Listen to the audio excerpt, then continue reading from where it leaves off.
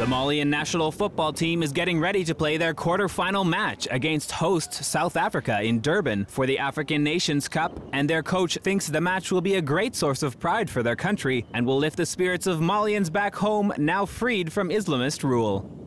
Part of the north is uh, liberated, so most of them are really happy, and that's why we really wanted, you know, to to qualify because we wanted to give some, some joy, some happiness to, to this country. To this country.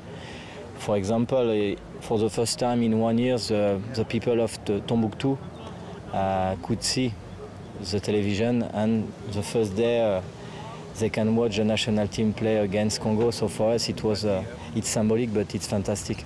We were so happy to, to qualify and for to know that uh, these populations that are uh, suffering for, for a year now uh, could watch the game and, and really be happy for, by the result. Malian fans watching from Bamako certainly seem enthusiastic, and it came as a surprise to most that Mali has done so well after major disruptions to the team from the coup in Mali last March, which caused the departure of their former coach. Nevertheless, if Mali wins the match, they will be facing Cote d'Ivoire or Nigeria on the 6th of February, depending on the outcome of their game.